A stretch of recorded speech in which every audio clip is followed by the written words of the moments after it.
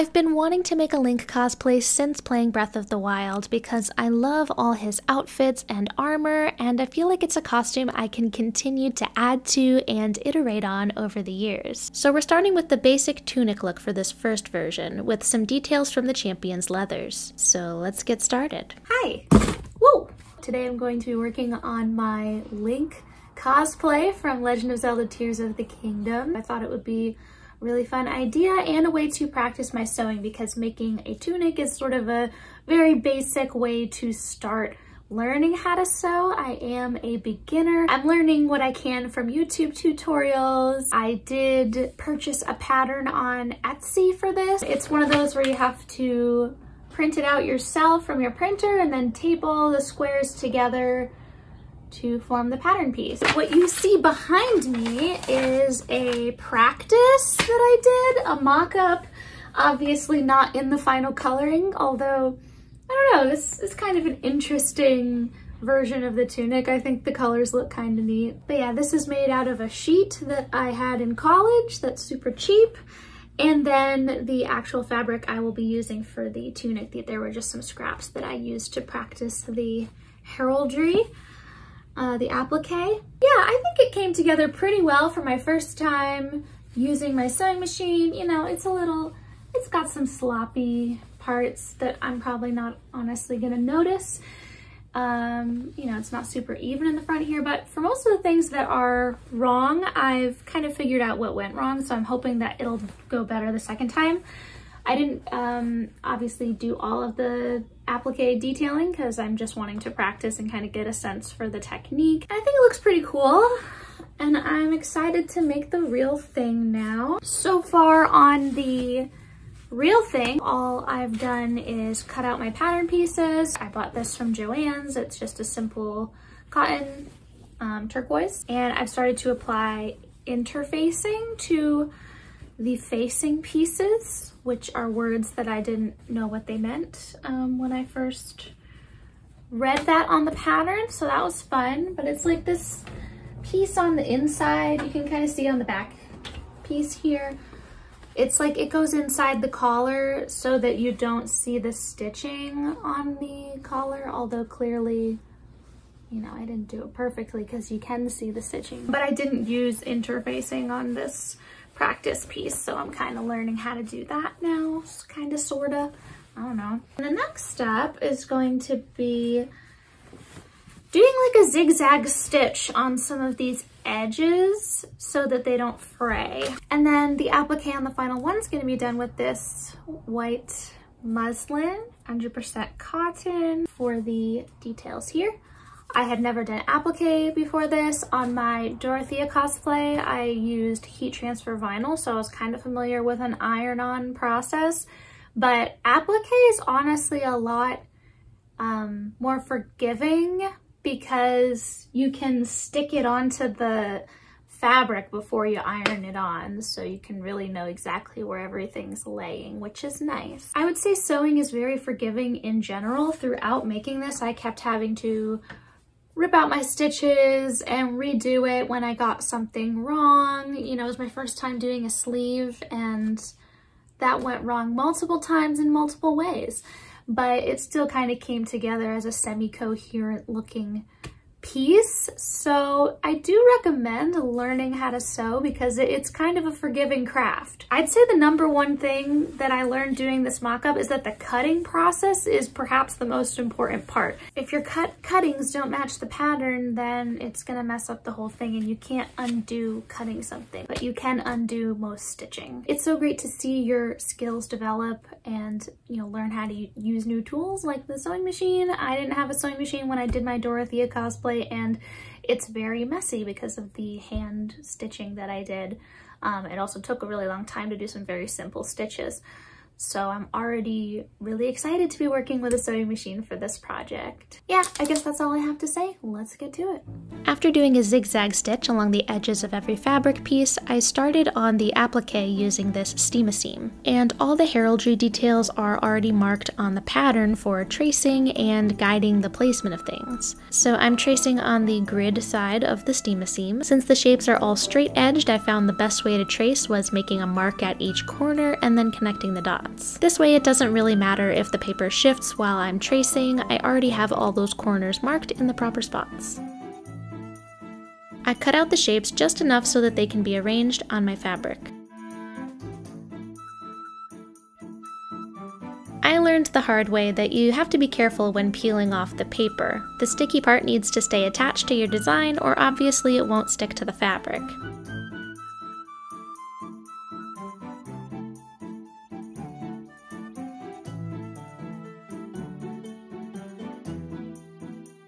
This is what you don't want.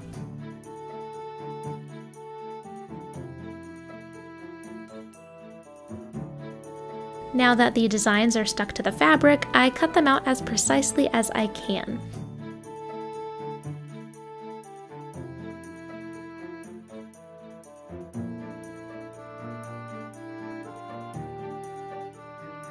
This is my first sleeve with the design already adhered. I'll show you the process for the second sleeve.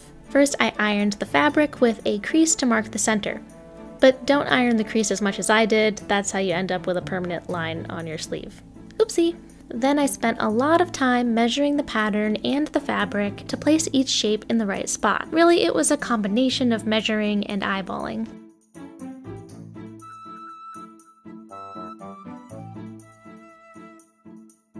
Again, until I iron it, I can stick and unstick it as much as I want, so I sure did.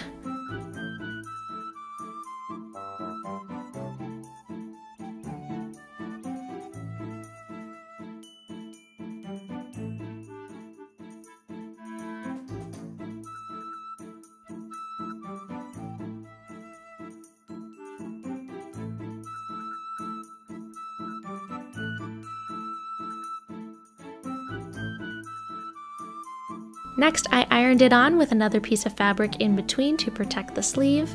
I pressed for, I think, 15 seconds at a time, whatever it said on the package, and obviously the video is sped up.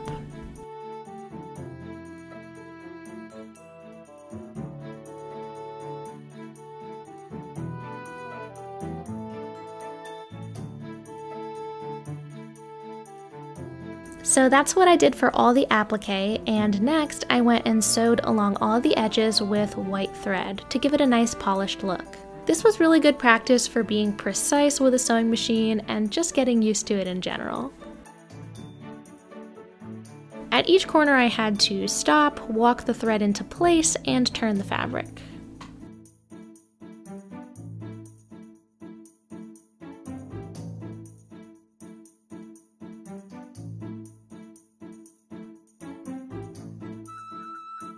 I just finished the applique for Link's tunic. I'm pretty happy with it. There is the world's tiniest stain on this and it's like in the worst spot. I feel like only I'm gonna notice it, so I'm gonna keep going with it. And I figure like, I, I thought about redoing this piece because of the stain and because of another very small reason, like um, pinholes. Um, but I don't think either are really that visible. And honestly, it's probably not going to be the only thing that bothers me when I finish this since I am a beginner. So I feel like if I'm going to, I might redo the tunic in the future anyway if I gain more skills and want to redo it. So for now, I might as well just keep going with what I have. But yeah, next is going to be assembling these pieces. Apparently I did not film myself sewing it together, but it was quite the process, let me tell you. So I finished the tunic and it is too large on me. So that's one of the unfortunate things about buying a pattern is you never know for sure if it's gonna fit on your own body, I suppose. I tried to make this work, but it just wasn't working. Even when I was putting like the, the leather belts and stuff on it, it just falls off my shoulder too easily. So I'm gonna mess around, see if I can alter it, but as a beginner, I don't know, I don't have high hopes for that, especially, especially since the applique is already on there. So I might be making another tunic that is smaller. Okay, so I kind of fixed it. I don't know, like it looks okay now. I didn't really know how to tailor this. I've never tailored anything, never taken in seams or whatever but I just kind of winged it and watched a couple of YouTube videos. I don't know, like I was sort of like assuming I was gonna scrap this particular one anyways and then just make a brand new tunic. So I'm like, eh, I'll mess with it. I'll see what I can do. And I feel like it's fitting better than it did before. I made the sleeves and the chest like just less baggy. I kept the size of the bottoms so that there's plenty of room there. Uh, maybe I'll just use this? I don't know, I really can't explain to you what I did. I just kind of sewed things at random. You know, the, it, it's some pretty shoddy work. I mean, look at those shoulders. That's, that is rough. This one's slightly better. But, uh, yeah, I don't know. Ta-da! Now that the main tunic is done, it was time to move on to some of the details from his Tears of the Kingdom look. So I literally used these in my kitchen cabinets um, as like a little liner surface to put the cups and stuff on. And I've heard that you can use it for cosplay to make chainmail. Oftentimes people use ones with bigger holes in this, but this is what I have on hand, so I decided I would just give it a try. I'm gonna try to make it look sort of metallic and then attach it to the tunic somehow. I cut these cabinet liners to size and sprayed them down with Plastidip in a well ventilated area. I think I did three coats. Then I used Rub and Buff to make it look metallic. I coated it somewhat unevenly to make it look more textured, I guess.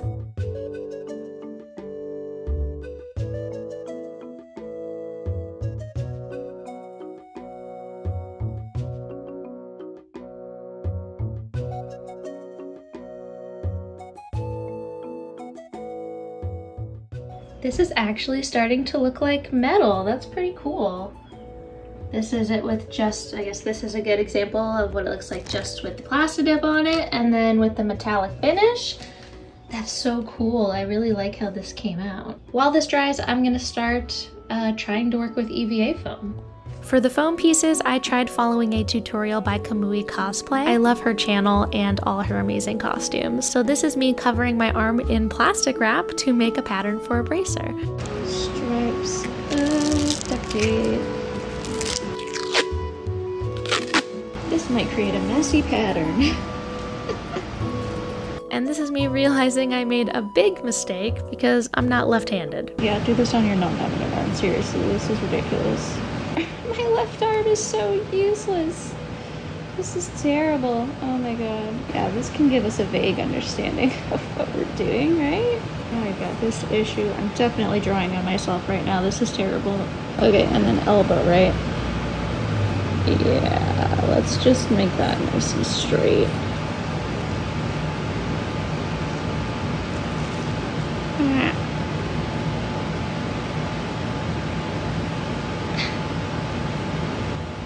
struggling. this is so hard.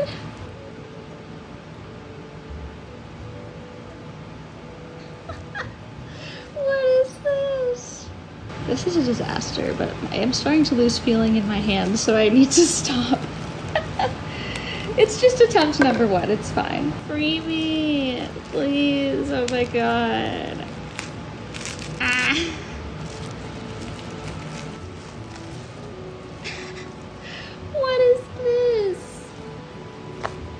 So I've been cleaning up the pattern a little bit. Um, since this is the one, the right arm is gonna be the Rauru arm, I decided to take off the part at the edge on the wrist or on the hand here. We're gonna see how it goes. This is my first try, so you know, we'll see. I'm gonna go ahead and cut this out.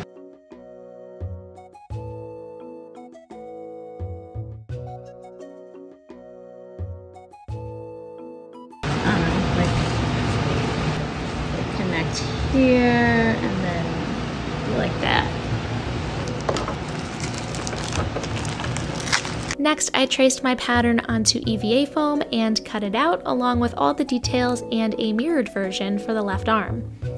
I then used a heat gun to shape the foam and attached all the pieces with contact cement. Meanwhile, I attached the chainmail just with some loose stitching for now. I might work out something more clever eventually, but it works.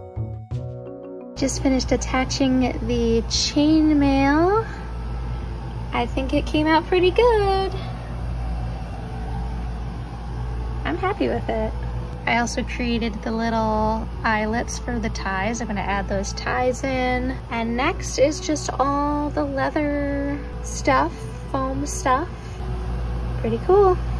I used more Plastidip as a primer and then applied acrylic paint and varnish.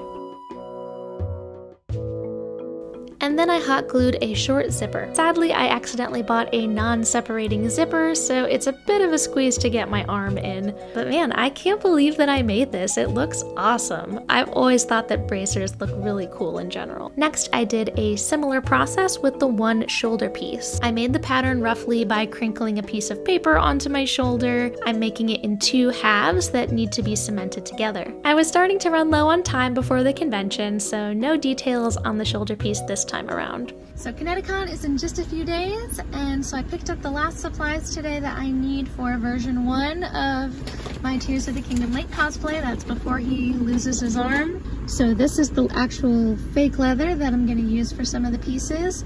This is a Master Sword color. I went back and forth between blue and purple. I decided on blue.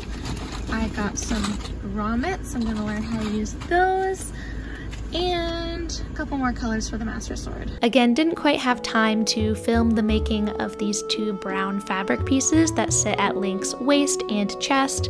They were very simple and imperfect. I just eyeballed a pattern using scrap fabric on my body and then transferred it to the fake leather and stitched it together. Once again, I used Plastidip, acrylic paint, and then varnish on the shoulder armor after it was cemented together. I also added another piece underneath to give it a nice shape. Next, I planned out where to attach straps on the shoulder pad and planned where the grommets will go for that, the little metal rings.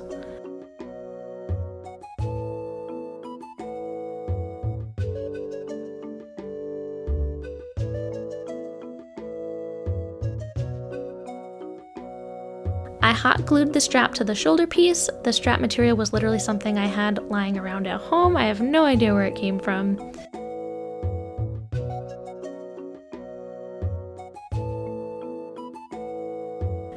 Next, I hammered in those grommets.